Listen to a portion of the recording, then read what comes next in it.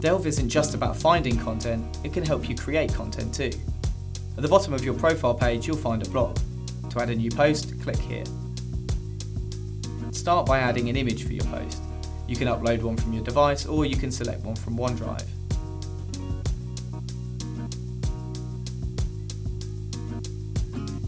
Next, give your post a title and start adding some text.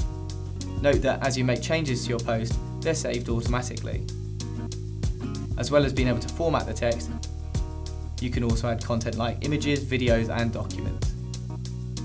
You can select a document from OneDrive or link to a document stored in a site. Once your post is ready, hit publish. You can now share your post with colleagues via email or Yammer.